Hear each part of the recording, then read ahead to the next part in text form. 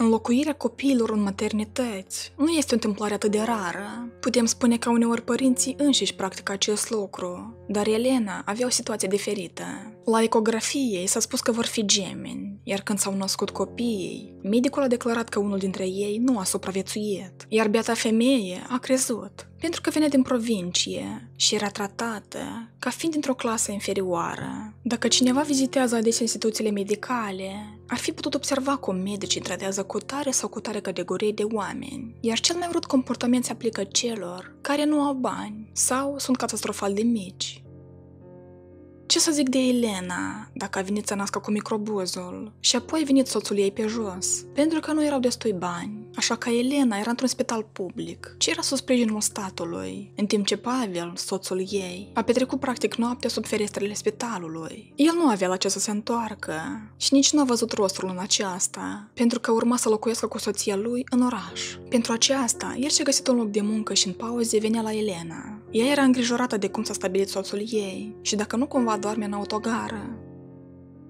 Soțul a venit cumva la ea și i-a spus Am închiriat o cameră într-un camin. Este ieftină și proprietarii sunt buni. Noi vom rămâne aici. Nu mai e nimic de făcut la țară. Elena se liniști. Ești bravo, că ai rezolvat măcar niște probleme, căci eu mă gândeam că va trebui deja să ducem copiii înapoi la țară. Înțelegi? E înghesuit acolo și nu există condiții pentru o viață normală.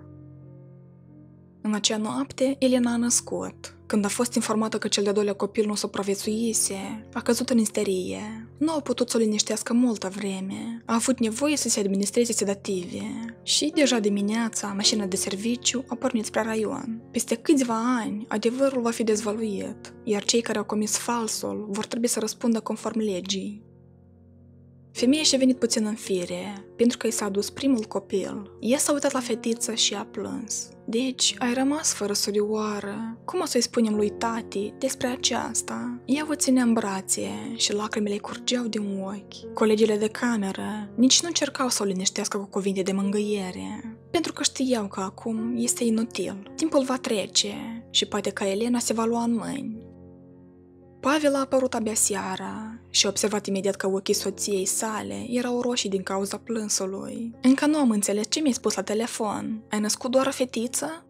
Elena a dat din cap și a adăugat imediat. Aproape. A doua fetiță nu a supraviețuit. Așa mi-au spus medicii, dar eu nu am văzut-o încă. Elena a început din nou să plângă și a intrat în secție. Soțul ei a vrut să mai spună ceva, dar asistentele l-au rugat să vină mâine.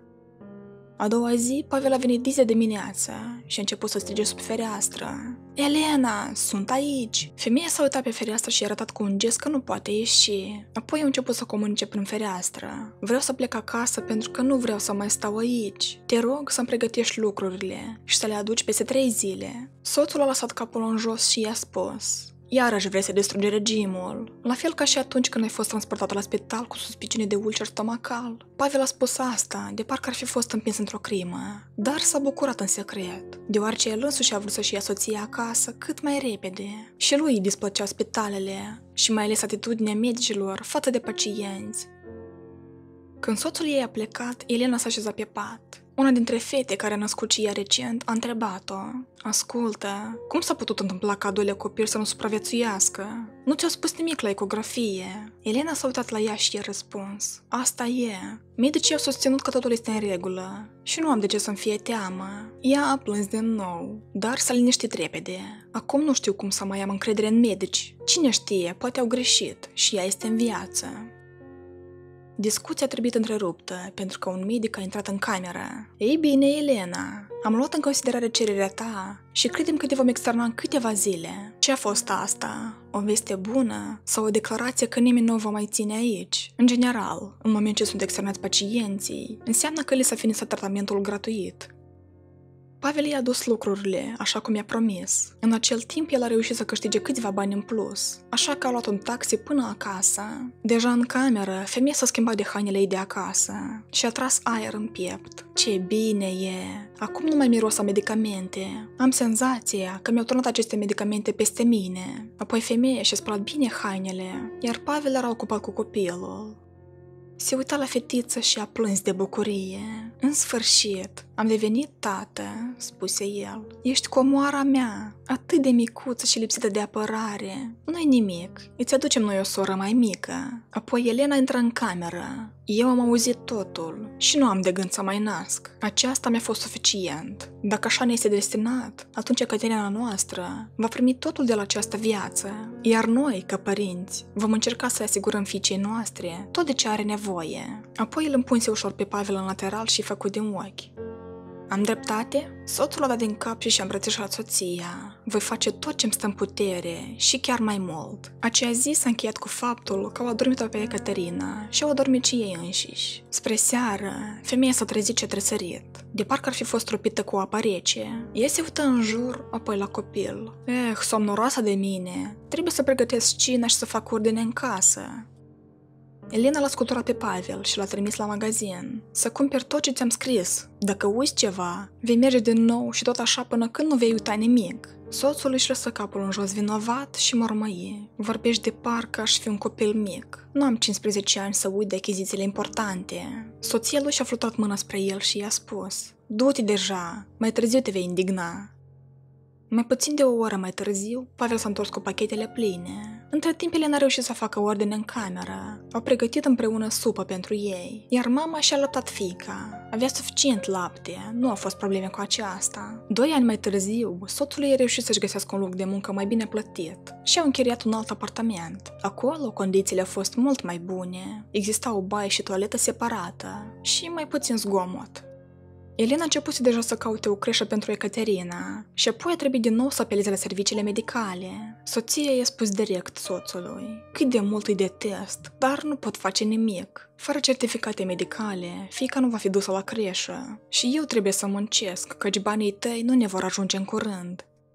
Elena a vizitat toți medicii într-o săptămână, iar aceștia i-au dat concluzia că fetița ar putea merge la o creșă. Cam în același timp, doar că într-o clinică privată, tinerii părinți au dus la examinare un copil pentru a-l pregăti pentru o instituție preșcolară. Dar soarta nu le-a zâmbit, iar fetele nu s-au întâlnit pentru că au fost duse la creșe diferite. Soția a fost încântată pentru că instituția nu era departe, ci trebuia să meargă doar două opriri cu microbuzul. Pavel muncea pentru întreaga familie. A fost necesar să asigure nu numai hrana și locuința, ci și cheltuielile neprevăzute, iar acestea au apărut de curând.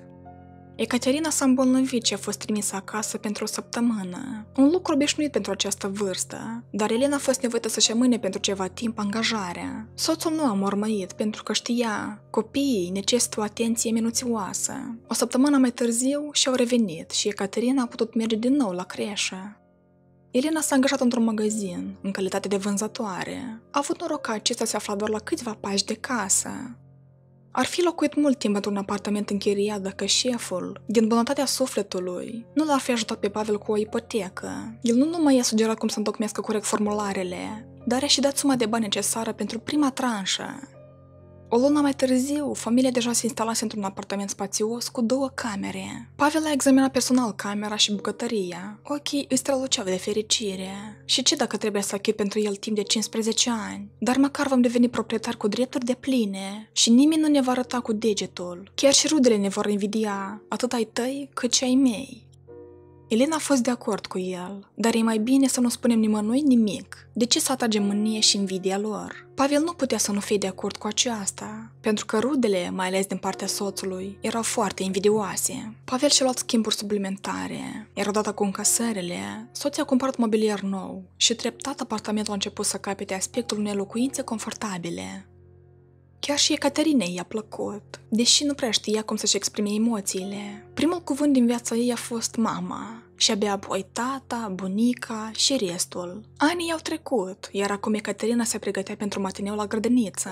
Ea știa deja cu cine va merge la școală. Elena a avut doar timp să-și asculte fica strigându-și prietenii pe nume. Din ochii ei se vedea că fata era dornică să învețe, iar mama o încuraja. Când vei pleca în clasa întâi, să urmărești cum se comportă ceilalți elevi. Nu te uita la cei obraznici și ascultă mereu profesorii. Ecaterina s-a încruntat și i-a răspuns. Așa spui de parcă chiar mâine voi pleca la școală. Sunt încă câteva luni până la școală, așa că voi avea timp să mă pregătesc. Mama i-a dat din cap și a spus, ești deșteaptă, pentru că prins totul din mers. Urma o vară caldă, iar fata se odihnea liniștită înainte de primele sale lecții.